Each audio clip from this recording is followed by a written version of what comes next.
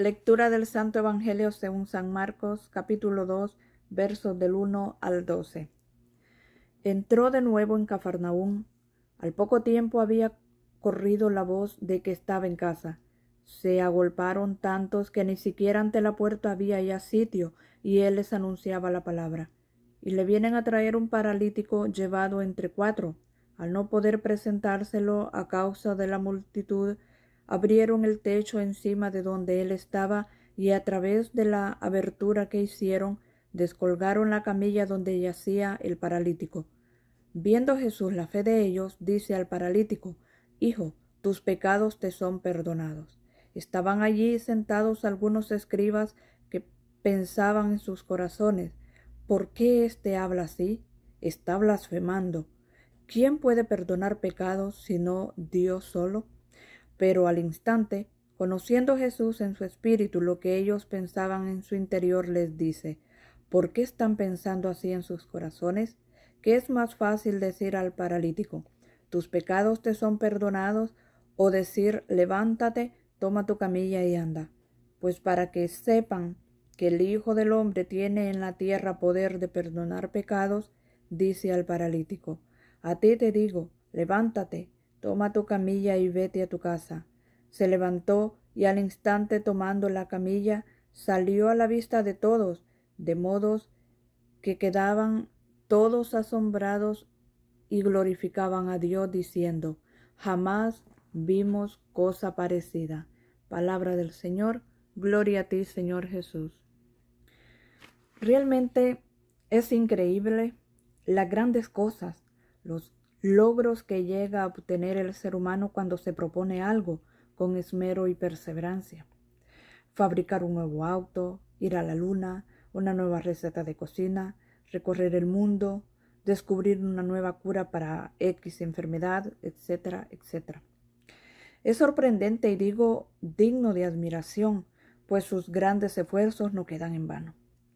Pero a veces es triste cuando emplea sus fuerzas sus energías apegados a un capricho o algo que no es para su bien, para su salvación, sino que le servirá para su propia esclavitud, para cavar su propia tumba.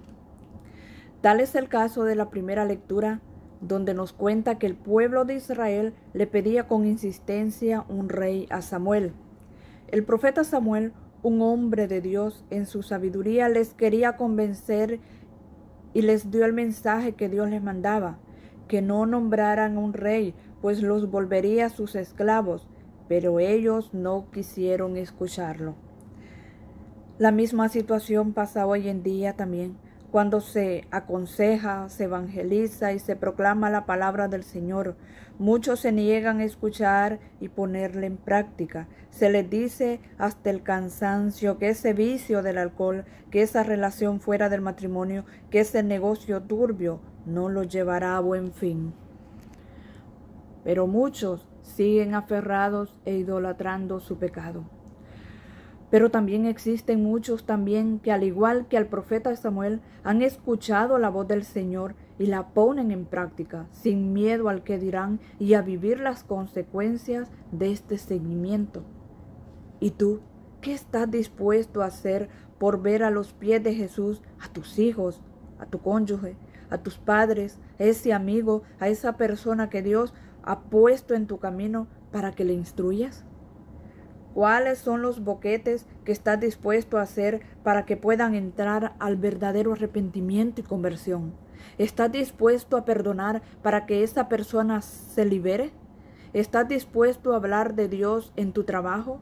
¿Estás dispuesto a vestir con decencia para que se note que eres de Cristo? ¿Estás dispuesto a doblar tus rodillas en, oración a Dios para pedir un poco más por esa persona que tanto necesita de Dios? ¿Cuáles son los muros que estás rompiendo? ¿Hasta dónde estamos dispuestos a caminar para ver cómo otros hermanos llegan ante la presencia del Señor? ¿Tienes el valor de hacer silencio un momento para poder escuchar la voz del Señor que te pide un poco más de humildad? Porque en muchas ocasiones creemos que solo nosotros tenemos la razón. ¿En dónde nos ubicamos este día?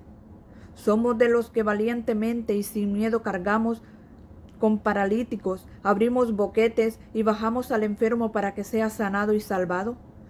Somos de los que están en la puerta, que no pasan, pero tampoco dejan pasar a otros que desean y anhelan estar a los pies del Maestro. Están con un pie adentro y el otro afuera. O tal vez somos de los que se dedican nada más a criticar lo que otros hacen, porque es más fácil sentarse a burlarse, a criticar, pero no nos unimos a una verdadera transformación por el Señor.